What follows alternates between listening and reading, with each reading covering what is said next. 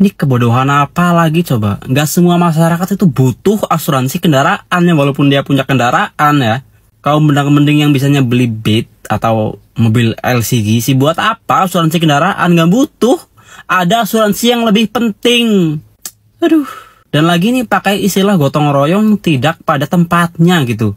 Kalaupun harus ada asuransi yang wajib itu pendidikan, asuransi jiwa khususnya kepala keluarga, asuransi kesehatan, asuransi hari tua itu lebih penting daripada asuransi kendaraan. Mikir. Waduh. Tolong kalau bikin kebijakan jangan sambil duduk deh.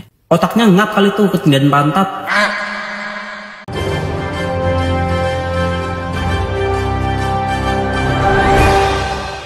Assalamualaikum warahmatullahi wabarakatuh. Setelah habis tapera, Kini pemerintah membuat kebijakan yaitu mewajibkan asuransi kendaraan roda 4 maupun roda 2 pada tahun 2025. Masyarakat menilai kebijakan ini adalah justru akan memberatkan masyarakat karena asuransi ini akan diwajibkan yaitu setiap bulan bagi masyarakat yang mempunyai mobil maupun motor ya. Jadi kalau kita lihat memang sepertinya atau dugaan kita pemerintah sepertinya sudah frustasi bagaimana cara memikirkan seperti menutupi kebolongan APBN ya. Dan kemarin kita lihat bahwa Prabowo saja belum menjabat sudah ada defisit anggaran mencapai 600 triliun. Belum lagi utang yang jatuh tempo mencapai 800 triliun dan belum lagi utang warisan Jokowi yaitu mencapai hampir 20 ribu triliun. Belum lagi ambisi Jokowi yaitu untuk membangun IKN dan kita tahu bahwa IKN memang tidak ada investor sehingga anggaran APBN pun ya harus dipakai untuk IKN. Jadi semua ambisi pemerintah ini membuat kebijakan yaitu rakyat yang harus menanggung semuanya. Jadi Anda bisa bayangkan di tahun 2025 belum lagi nanti PPN akan naik mencapai 12%, belum lagi nanti akan dibatasi subsidi BBM, belum lagi nanti pemerintah akan menaikkan tarif listrik dan juga ya yang baru-baru ini mewajibkan asuransi kendaraan roda 4 maupun roda 2. Semua kebijakan pemerintah yang konyol itu jadi rakyat yang harus menanggung dan membuat rakyat semakin menderita di era pemerintah Jokowi yang akan diteruskan oleh Prabowo. Baik, coba kita lihat beberapa komentar dari netizen ya atas kebijakan pemerintah mewajibkan asuransi untuk kendaraan roda 4 maupun roda 2. Mulai tahun depan, mobil dan motor wajib asuransi. Pengamat bilang nih mirip tapera. Hai guys, Rita di sini. Jadi, untuk tahun 2025 per Januari nanti seluruh kendaraan bermotor di Indonesia itu wajib asuransi third party liabilities atau liabil, eh, TPL. Jadi, asuransi TPL itu memberikan ganti rugi kepada pihak ketiga yang dirugikan oleh kendaraan yang diasuransikan.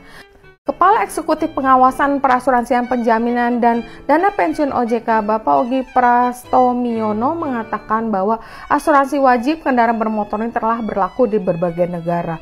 Dan terkait harga Pak Ogi itu sangat uh, bilang itu sangat tergantung pada jumlah peserta. Jadi semakin banyak peserta yang ikut asuransi ini maka premi itu akan lebih murah. Jadi dia yakin bahwa asuransi ini jauh lebih murah nantinya daripada yang sukarela. Yang sekarang kan sukarela. Jadi kalau kalian mau ikut asuransi kalian ikut.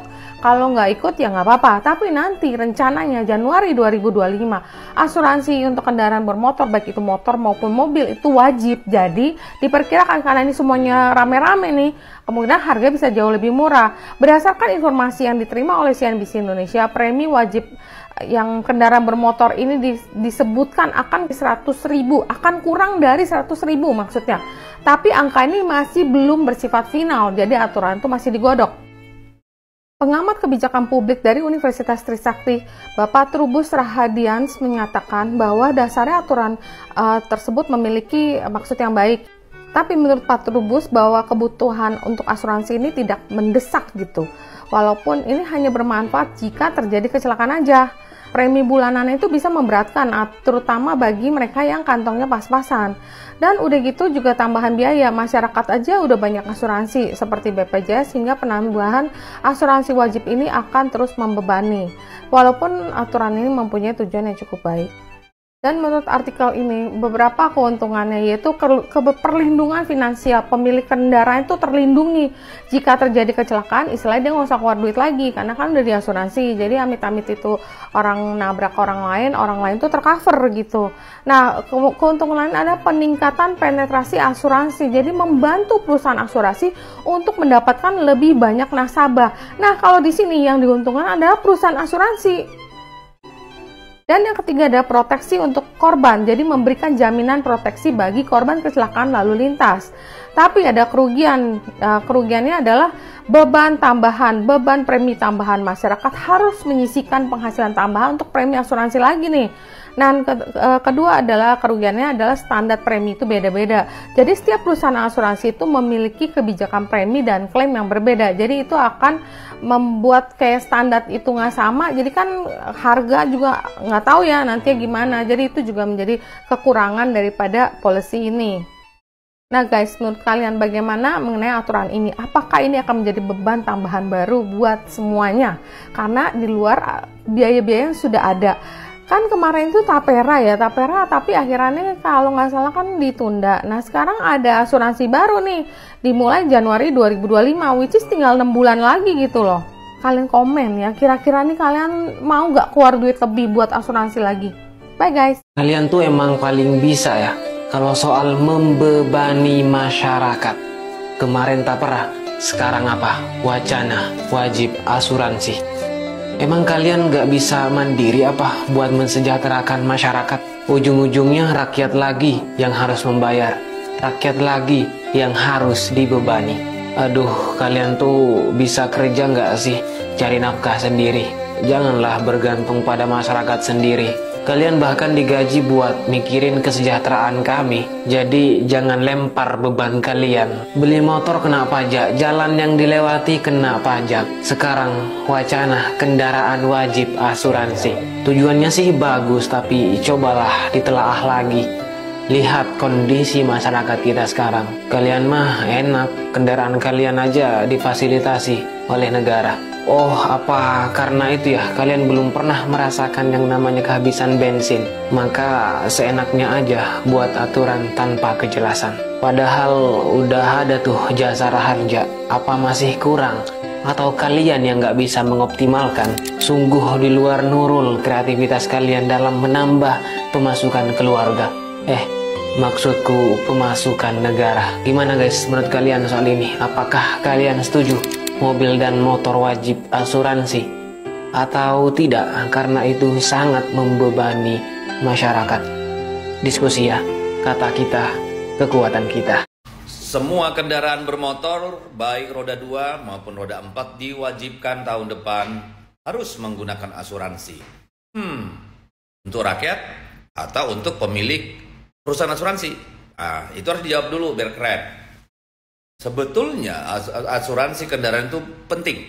Penting buat pemilik kendaraan maupun orang yang akan terdampak oleh kendaraan yang ada di jalanan. Ya, misalnya yang motor nabrak mobil, kan biasanya mobil ngalah tuh, tapi dia harus keluar uang untuk memperbaiki mobilnya, tidak mungkin menuntut yang pakai motor. Atau mobil tua nabrak mobil bagus, kan kira-kira gitu ya. Jadi ada gunanya sebenarnya. Juga bagi lesor ada gunanya, ya. Sehingga kendaraan itu tetap dipastikan selalu dalam kondisi yang baik, uh, terawat karena tinggal bawa ke asuransi kalau ada yang bermasalah gitu ya. Nah, kemudian yang menjadi pertanyaan adalah bagaimana menyikapi kondisi real di masyarakat. Umur berapa wajib? Kalau udah 10 tahun ke atas masih wajib? Ini kan menjadi pertanyaan. Kalau mobil antik oke okay lah, mobil mahal di atas 10 tahun tetap harganya malah makin bagus. Tapi mobil milik rakyat, mobil murah, apakah nanti berdampak pada pembatasan usia kendaraan? Nah ini kan harus dijelaskan sama masyarakat. Lalu bagaimana dengan keluarga yang punya tiga motor? Ini kan banyak warga kita sekarang yang punya mobil, eh motor lebih dari satu atau punya mobil dan motor. Nah ini kan bukan soal semata-mata karena apa namanya sok-sokan gitu, tapi kebutuhan karena transport mahal, waktu harus dikejar, terutama di kota-kota besar atau daerah yang jauh dari sekolah perkampungannya misalnya. Nah ini bagaimana ya? Karena kalau tidak jelas clear and clean maka nanti menjadi bias di lapangan. Bisa saja petugas menyetop kendaraan, nanyakan asuransinya mana, lalu ditilang. Ah, kalau enggak ya damai di jalan. Ini akan merugikan masyarakat. Jadi tolong dilihat kembali kebijakan ini. Tolong dipastikan bahwa asuransi itu mudah, murah, dan cepat. Ya, jangan hanya untuk mengumpulkan dana segar dari masyarakat karena industri asuransi lagi anjlok. Ini kan salah ya. Harus untuk kepentingan rakyat dan bangsa ya bukan semata-mata demi keuntungan sekelompok orang pengusaha asuransi. Jadi tolong dipastikan beban rakyat itu diperhatikan ya. Skema asuransinya harus benar-benar ringan, mudah gitu ya. Salam logika. Wah, gila bener efek pembangunan IKN. Setelah sebelumnya pemerintah mencoba mengumpulkan uang dari rakyat melalui tapera atau tabungan perumahan rakyat, kini seluruh rakyat yang mempunyai kendaraan bermotor, baik itu motor maupun mobil, katanya kendaraannya wajib diasuransikan. Waduh, yakin nih negara sedang baik-baik saja. Kok dia yang ambisius, malah kita yang mencoba dibius. Anda yang punya kendaraan bermotor, siap-siap. Mulai Januari tahun depan, pemerintah mewajibkan Nih amit-amit ya, mohon maaf nih aduh amit amit amit amit jangan sampai terjadi. Andai kata gue kecelakaan nih lagi bawa kendaraan. Terus masuk rumah sakit. Ya kan? Wow dikasih bisa sombong tuh misi mbak. Saya mau bayar. Mbak pengen dibayar pakai apa saya punya jasa raja asuransi motor jam sostek BPJS mau yang mana mbak? Kata mbaknya, pakai KJP aja mas, bisa kok. Pemerintah dikabarkan mengeluarkan kebijakan terbaru yang kontroversial dan bahkan menurut saya ini adalah cara preman pasar yang ingin mencari uang dengan cara mudah dari rakyatnya. Mungkin juga ini adalah sebuah kolusi antara pejabat pemerintah dengan perusahaan asuransi sehingga melahirkan sebuah kebijakan yang mewajibkan sepeda motor, kendaraan mobil, kendaraan bermotor harus kembali membayar asuransi. Padahal setiap orang membayar pajak kendaraan bermotor sudah ada jasa raharja. Lantas ini mau dibebani asuransi baru kembali. Ini adalah perampokan, cari uang dengan cara mudah dari rakyat. Saya pikir ini adalah sebuah kebijakan yang akan membebani masyarakat dan harus ditolak oleh semua pemilik kendaraan bermotor. Jasa raharja sudah ada. Ngapain lagi asuransi yang lain itu? Tidak penting. Tahun depan bayar 300 Buat bayar asuransi kendaraan Lagi-lagi rakyat yang rugi Aturan tuh duit buat kebutuhan Lumayan 300 Belum lagi pemerintah ke depan pada tanggal 17 Agustus 2024 akan membatasi subsidi BBM ya. Jadi nanti di tahun 2025 di depan mata cukup banyak yang akan membuat rakyat semakin menderita. Jadi kebijakan-kebijakan ini yang kita lihat ini akibat ulah pemerintah yaitu utang ugal-ugalan, ambisi Jokowi membangun IKN belum lagi untuk menutupi yaitu bolongnya dan defisitnya APBN. Jadi semuanya dilimpahkan kepada kita masyarakat kita yang harus menanggung akibat kebijakan konyol dari pemerintah sebelumnya yaitu pemerintah Jokowi. dan akan dibebankan nanti kepada Prabowo dan cukup banyak masalah dan rakyat pun harus menanggung yaitu kebijakan-kebijakan pemerintah yang benar-benar konyol dan tolol. Menko Bidang Kemaritiman dan Investasi Luhut Binsar Panjaitan membuat pernyataan terkait rencana pemerintah untuk membatasi pembelian bahan bakar minyak BBM bersubsidi mulai 17 Agustus 2024. Pernyataan Pak Luhut Binsar Panjaitan malah kemudian dibantah oleh Pak Jokowi, Presiden Republik Indonesia yang katanya belum ada pemikiran untuk ke sana, belum ada rapat juga katanya. Pak Erlangga Hartarto, Menko Perekonomian juga ikut membantah pernyataan Pak Luhut Binsar Panjaitan ini. Katanya tidak ada pembatasan subsidi BBM, tetapi yang ada adalah penurunan kadar sulfur dalam BBM. Waduh, ini parah banget menurut saya ya. Komunikasi publik antar pejabat saling bantah begini. Waduh, parah. Tetapi Menko Perekonomian Erlangga Hartarto mengatakan bahwa pemerintah akan meluncurkan produk BBM rendah sulfur seiring dengan rencana sosialisasi penyaluran BBM bersubsidi tepat sasaran pada 1 September 2024 mendatang. Saya kok jadi ingat dulu cara menaikkan harga BBM, yaitu dengan apa? Membuat produk baru namanya Pertalite dan secara bertahap premium ditarik dari peredaran. Modus ini menurut saya. Terlepas dari bantah-membantah ini, yang jelas di masa rezim Jokowi sudah terjadi tujuh kali kenaikan harga BBM. Dan sangat besar pada masa berikutnya akan dinaikkan lagi, mau tanggal 17 Agustus, 1 September, atau tanggal lain, serta dengan berbagai model modus sangat besar, harga BBM akan tetap naik selama sistem di negeri ini tak diubah. Kenaikan harga BBM merupakan bentuk liberalisasi hilir migas Indonesia. Liberalisasi ini menyempurnakan liberalisasi di sektor hulu migas Kenaikan harga BBM ini benar-benar persoalan sistemik, teman-teman. Saatnya kita routing masalahnya dan tata ulang pengelolaan energi ini termasuk di dalamnya pengelolaan migas. Hal yang urgent adalah stop liberalisasi migas dari hulu sampai hilir. Beberapa tata kelola penting terkait hal ini adalah satu, menjadikan energi termasuk migas benar-benar milik umum, milik rakyat secara keseluruhan, muslim maupun non-muslim. Dan haram hukumnya diserahkan pada swasta, baik dalam negeri maupun asing, seperti pola yang saat ini terjadi. Yang kedua, harus mandiri energi melalui optimalisasi cekungan hidrokarbon yang melimpah dan e, energi baru terbarukan. Yang ketiga, perbanyak dan optimalisasi kilang secara mandiri tak bergantung pada asing. Yang kelima, melakukan pendekatan pelayanan bukan bisnis sehingga harga energi harus didesain semurah mungkin untuk rakyat berbasis biaya produksi, bukan malah menjadikan standar minyak dunia sebagai patokan.